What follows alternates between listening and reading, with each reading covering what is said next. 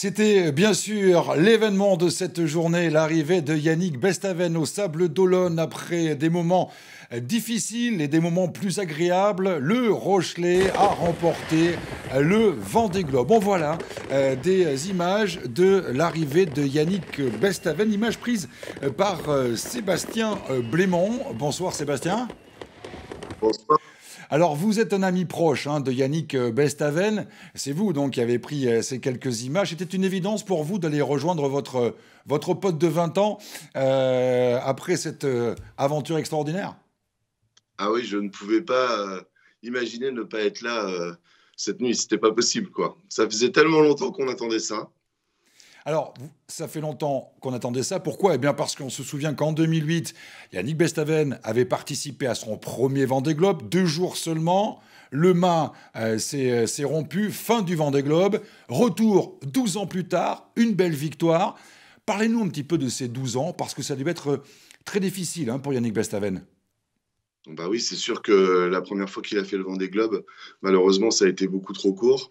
Ça a été d'une violence inouïe parce que, que ce soit Yannick ou un autre skipper, je pense qu'il prépare ça bah, pendant des années, quatre ans. Et quand ça s'arrête comme ça, alors qu'on a profité de rien, c'est juste terrible. Donc ça a été très, très, très, très compliqué pour Yannick comme pour les autres aussi, hein, qui ont cassé à cette époque-là. Je me souviens, il y avait une grosse tempête dans le golfe et euh, il y avait eu beaucoup de casse.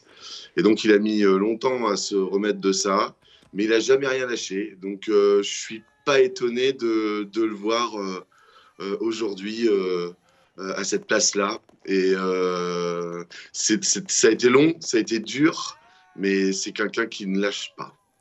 Parlez-nous un petit peu de Yannick Bestaven, le marin. Quelles sont ses, principales qualités? On sait donc, on l'a dit, qu'il ne lâche rien et qu'il fait vraiment corps avec son, son bateau. C'est un peu ça qu'on peut dire de, de Yannick Bestaven?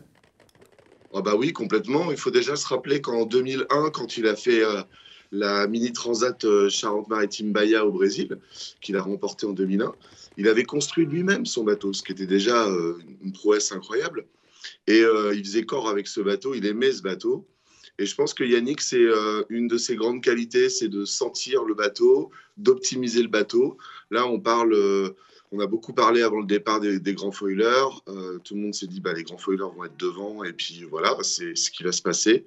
Et bon, bah, lui, il a opté pour une autre, euh, une autre option. Hein. Euh, les foils, ce pas des foils de, première génération.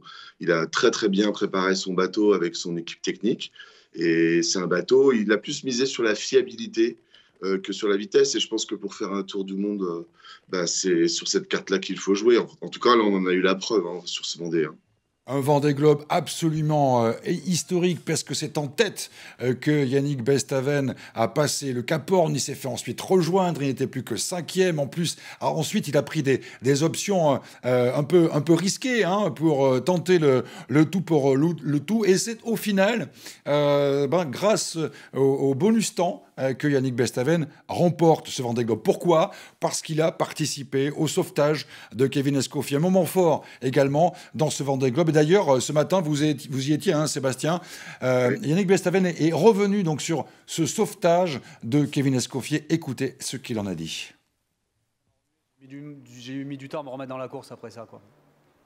Parce que quand ça s'est passé, la direction de course m'appelle et me demande pas forcément d'aller au secours de Kevin. Elle me dit euh, Tu es un peu loin de Kevin, il faut que tu fasses demi-tour, mais est-ce que tu serais prêt à rejoindre Jean pour, euh, pour, euh, pour, pour avoir plus de chance quoi. Enfin, je lui dis Mais tu ne me demandes pas si je suis prêt à le faire.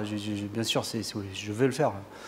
Donc là, tu, changes de voilure, tu es au portant, tu pars au près, il y avait 6 mètres de creux, donc je fais demi-tour.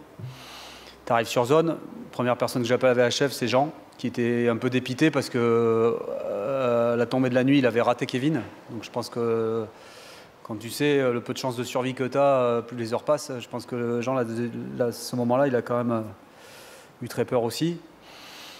Et, on a passé une nuit d'enfer. C'était une nuit en enfer, il n'y a pas d'autre mot. Ça a duré toute la nuit jusqu'au lever du jour. Et puis t'es pas dans ton bateau, euh, tu es, sur le pont, quoi, à chercher un copain dans un radeau de survie. Quoi. Il fait froid, euh, tu as les embruns, la mer, tu es au près face au vent, euh, tu es trois riz dans la grand voile. il était en train de chercher un copain et, t'en prends plein. Et, putain, je me disais, mais moi j'avais froid, j'avais mal déjà sur le pont à chercher Kevin. Et je me disais, mais l'autre dans son radeau de survie, comment il doit souffrir quoi Il doit se renverser. Les vagues doivent le renverser. Moi, le bateau, il, chahutait de droite, de gauche et tout. Et, euh, plus les heures passaient, plus franchement, moi j'ai pensé que c'était mort. J'ai pensé que c'était fini. Et euh, quand petit matin, euh, Jean a dit j'ai récupéré Kevin, déjà sur le coup, j'y ai pas cru. Je disais pas, je rêvais. J'ai mis du temps à me remettre en route. Voilà, j'ai mis du temps à me remettre en route après cette nuit passée en enfer. Rapidement, euh, Sébastien, votre avis sur la, petite polémique autour de ces 10h15 de bonus temps pour, euh, pour Yannick Bestaven? Bah, Moi, j'arrive pas à comprendre euh, la polémique qu'il y a autour de ça. je veux dire, tous les skippers euh, sont tous au courant du règlement avant de partir. Euh, ils sont tous d'accord, ils signent tous euh, le règlement. Donc, pour moi, il n'y a pas de polémique possible. Et ce qu'a fait Yannick, n'importe quel autre skipper l'aurait fait. Et c'est normal que ça soit crédité de temps. Après, la polémique, est-ce que c'est 10h15 Est-ce que c'est 8h Est-ce que c'est 12h ça, moi, j'en sais rien. Je suis pas compétent pour pouvoir juger ça. Et je pense que le jury euh, euh, qui, a, qui a travaillé sur, sur le dossier et qui a attribué les 10h15, ils sont bien plus compétents que tous ceux qui y parlent en ce moment. Donc, euh, c'est mon avis personnel. Allez, Sébastien Blémont, encore une fois, vous êtes un ami proche de Yannick Bestaven depuis maintenant 20 ans. il n'a pas, il, n'a pas dit, Yannick Bestaven, s'il allait retourner ou pas faire le vent des globes. À votre avis? Alors ça, si je le savais, je sais pas. Franchement, je je sais pas. Il a dit un truc ce matin qui était un peu rigolo. Euh, euh, il dit bah oui, mais bon, j'ai gagné, mais j'ai pas passé la ligne en premier, donc je vais être obligé d'en refaire un. Mais bon, ah. c'était avec de l'humour, donc euh, je sais pas. Je suis incapable de vous dire, mais je que même lui le sait pas là, à l'heure qu'il est. Hein. Ouais, c'est un indice, hein, parce que maintenant, j'imagine quand même que l'essentiel pour Yannick Bestaven, c'est se reposer, retrouver, retrouver les siens. Lors d'une présentation de Yannick Bestaven, ce sera ma dernière question, euh, il disait, le skipper euh, Rochelet, je vais peut-être trouver ce que je cherche dans le Vendée Globe. Euh, c'est une quête intérieure, dit-il aussi. Est-ce qu'à votre avis, il a un début de commencement de, réponse à sa question? Alors ça, on a beaucoup échangé par WhatsApp, ce qui est d'ailleurs un outil magique aujourd'hui on peut échanger avec, euh, avec un skipper comme ça qui fait le tour du monde, qui est dans les mers du Sud, qui a des endroits euh, incroyables et ça marche super bien. Et donc, on a pas mal échangé par, euh, par texto, par message, pardon. Et, et, moi, de temps en temps, je lui posais cette question-là. pas comme vous la formulez, mais en tout cas d'une autre façon. Et je pense que il n'a toujours pas la réponse. mais je pense qu'il y en a plein de skippers qui n'ont pas la réponse à ça. Merci beaucoup en tout cas Sébastien Blémont donc, de nous avoir fait euh, partager bah, votre émotion aussi à l'arrivée de votre pote enfin au Sable d'Olonne. Alors euh, pour Charlie Dalin à l'arrivée c'était un steak, euh, pour Burton c'était visiblement une pizza. En revanche pour Yannick Bestaven c'est sûr il avait envie d'une d'une bière et j'imagine qu'il vous tarde pour vous maintenant d'en partager une avec modération s'entend avec votre pote et ce skipper donc qui termine un Vendée Globe absolument historique. Merci beaucoup, euh, Sébastien Blémont. Euh, dans quelques instants, ce sera Rematch. Vous, allez le voir, le, sport amateur s'est encore une fois déchaîné cette semaine.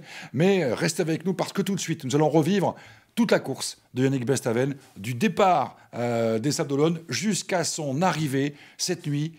13 minutes, un petit peu plus même, autour des différents moments clés de Yannick Bestaven.